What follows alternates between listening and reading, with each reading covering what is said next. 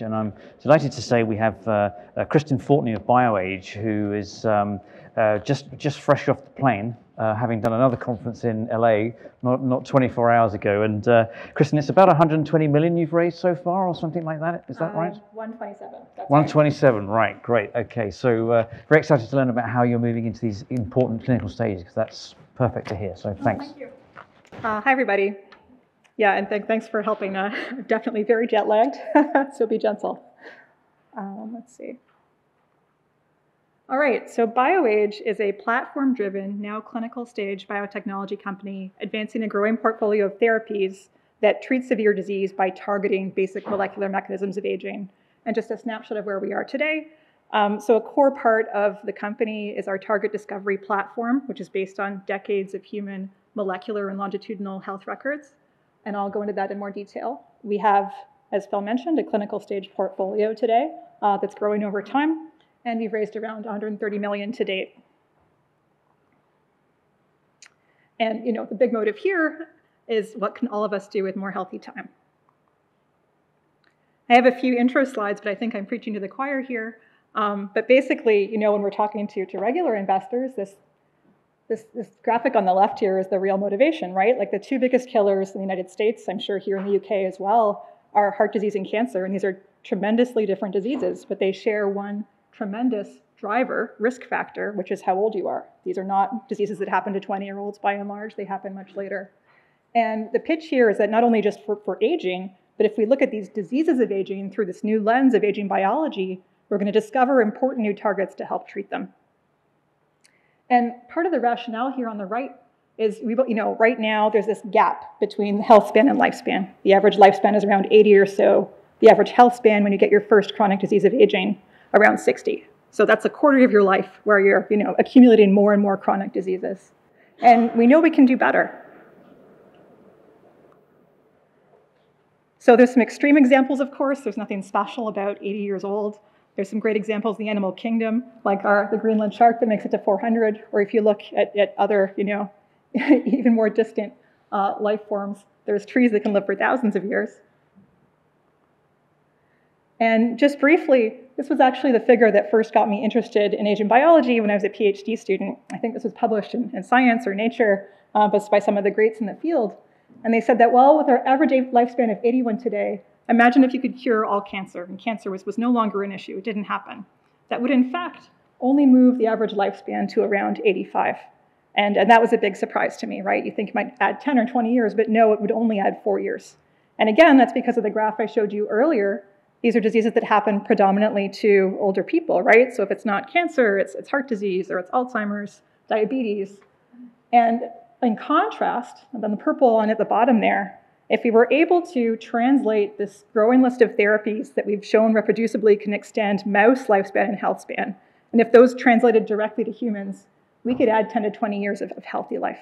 And that's why I'm so excited about the field, and I think that you know, it's a very exciting time for the science. The field has really made a lot of progress in the past decade. So briefly, BioAge is focused on, on human aging, on building this kind of what I see as a missing layer um, so aging is a scientific field. It is fairly new. It's still a new science. Um, you go to most major research universities, and there's a handful of people who work on aging, and maybe vastly many more who work on cancer or diabetes or any single aging-related disease. And it really sort of dates back to the early 1990s when it first became a, a real scientific field. And that's when, I think prior to that, this is what I've been told, that everyone thought, oh, aging is so complicated. So many different things go wrong as you age. Why would you think there could be a simple thing you could do that would dramatically extend your lifespan? And that idea was proven wrong first in the early 1990s with the work of Cynthia Kenyon and Gary Ruvkun, that in a worm showed that you could delete one gene, just one gene, and double the lifespan. And that, I think, amazed everybody.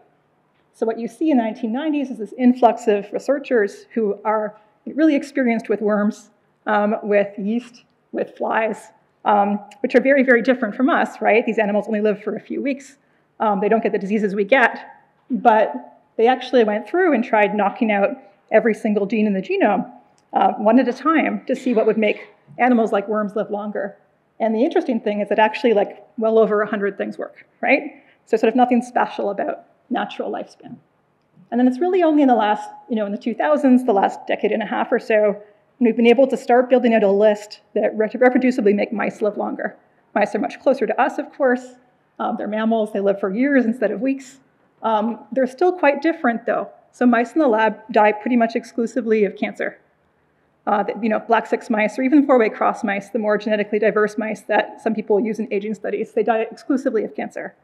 You could have in your hands, you know, a drug that cured heart disease um, and give it to these mice for their lives and it wouldn't do a thing. Um, so these mice never on their own get heart disease, they never on their own get Alzheimer's. This is one reason why, for example, we've cured Alzheimer's over 100 times in mice, but never in people. And so that's why we think it's really important to have this, this human layer of aging, which in a sense is the hardest thing to build, right? Because we age over decades. Um, and we think we really need molecular data that span decades to understand how humans age. And this is where we've invested heavily at BioAge in sort of building this human layer. And, and the idea is really simple, right? Like there already are a lot of people who live for a very, to a very ripe old age very successfully. There are, you know, one in a thousand people make it to the age of 100. Many of those people still have functional brains, have functional muscles. And our whole approach at BioAge is to ask, what's different about these successful agers versus the rest of us? And this is just showing here a distribution here of the age at death in people in some of our cohorts. So at BioAge, we're very driven by data. We use AI, biobanks, and multi-omics to directly decode the biology of human aging. Now, the key thing, so we have about a handful of biobank partners that are pretty unique biobanks. They're biobanks that started collecting samples from healthy middle-aged people 50 years ago. So these are really precious samples that have been conserved for decades. And these samples are connected to health records with basically the entire future history of those people's lives until their deaths. And our approach is fundamentally to go into these samples, enumerate every molecule in there with modern technologies, and ask what's different about those people who go on to live 60 only, right, versus those who will go on to live 90 plus in great health. And this is something we're only able to do now. Like for example, in each one of these samples, we're looking at you know, 7,000 different proteins, 3,000 different metabolites, 10,000 RNA transcripts. Um, these technologies weren't available even a decade ago. And then it's really a big data problem to tease out the most important pathways. In a snapshot of where we are today, we've you know, generated over 65 million molecular data points across 10,000 patients, across 45 years of aging.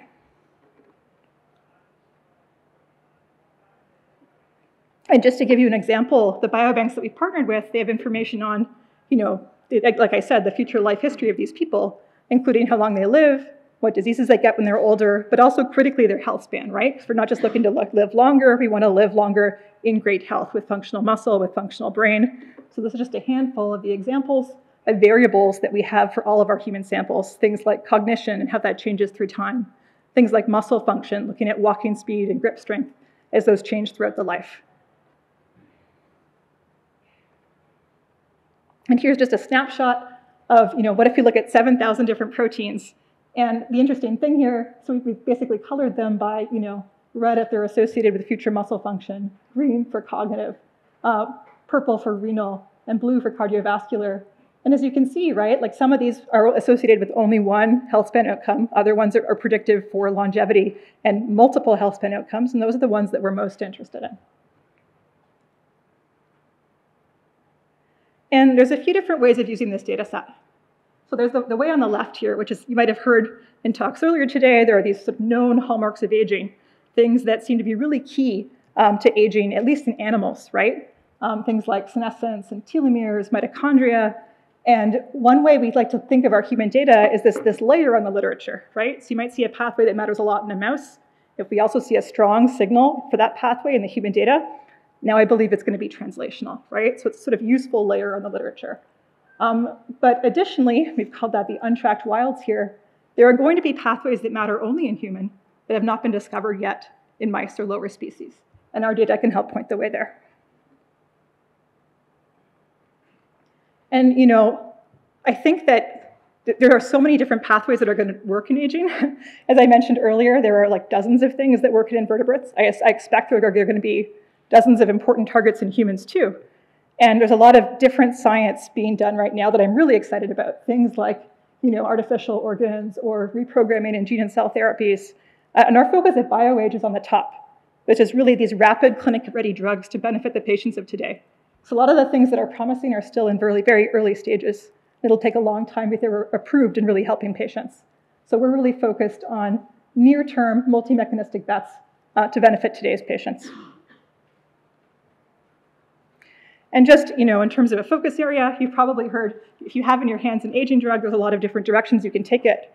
At BioAge, we have three different thematic areas. We focus on the muscle, on immune aging, and on brain aging. And these are very deliberate choices that we think are at the intersection of one, they're very well covered by our, our human data sets. We've got relevant variables in our human data sets.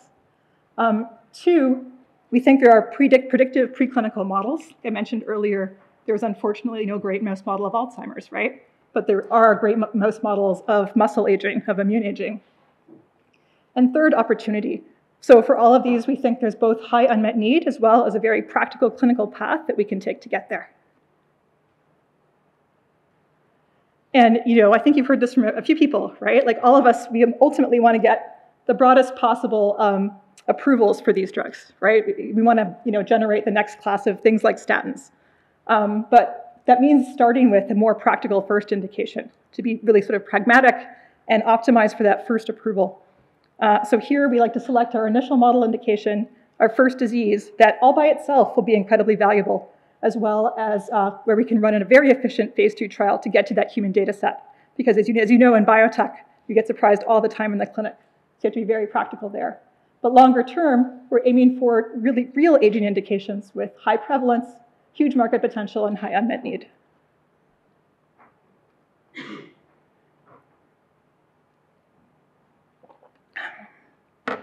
So really briefly, this is my leadership team.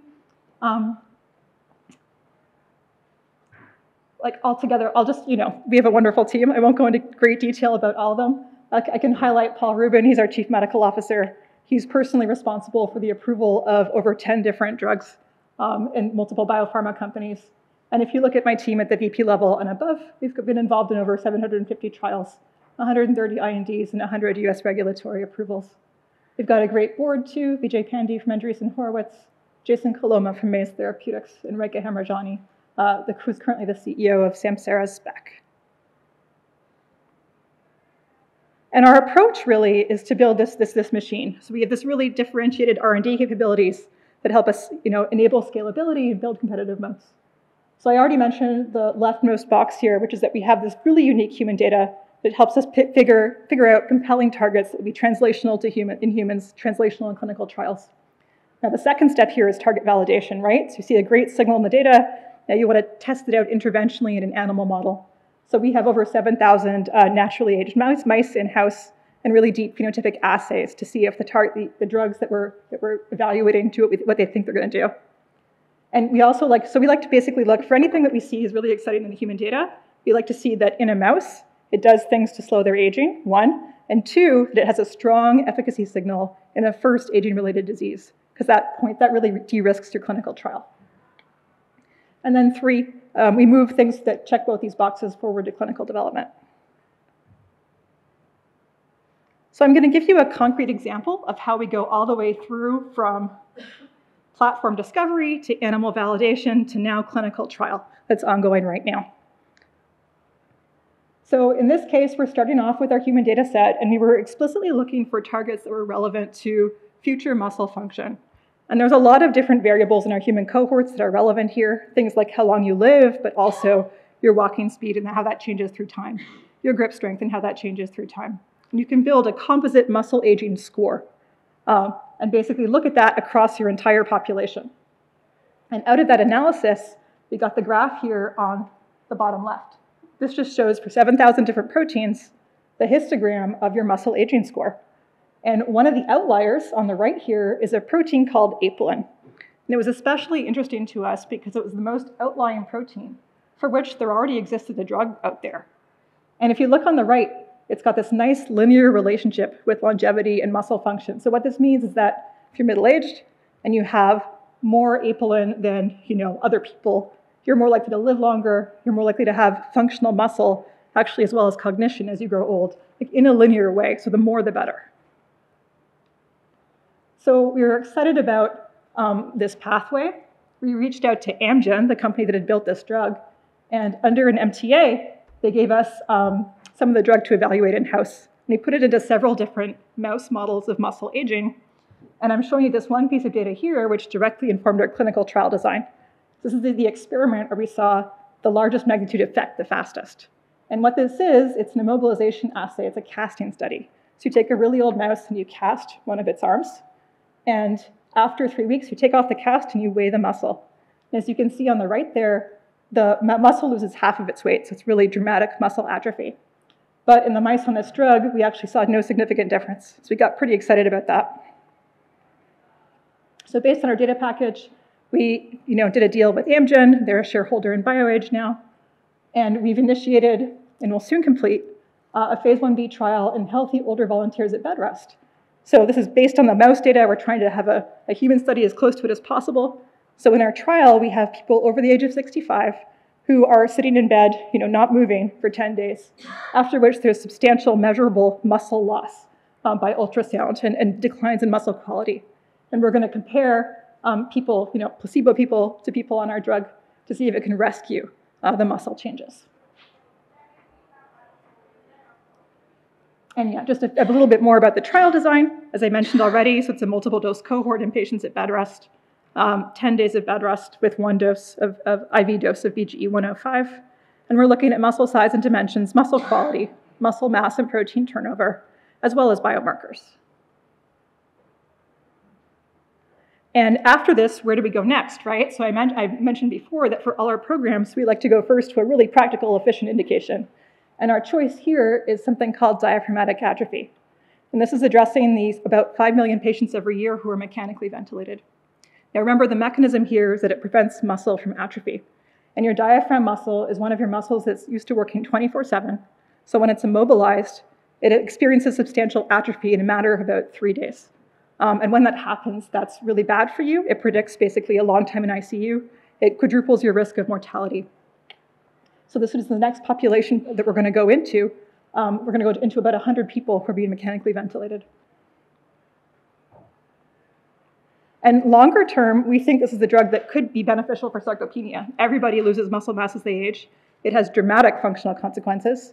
It's a tougher nut to crack as an indication, but we're really excited about the potential of the mechanism there. I didn't show you the data, but we also gave this drug to really old mice in their, um, in their water for three months.